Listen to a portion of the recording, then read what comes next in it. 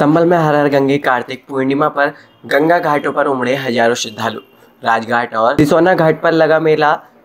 चौ और कार्तिक स्नान की धूम तड़के से ही श्रद्धालु का गंगा घाट पर पहुंचने का सिलसिला जारी हर हर गंगे के साथ गंगा में आस्था की डुबकी लगा रहे श्रद्धालु सुरक्षा की दृष्टि से भारी पुलिस बल मौजूद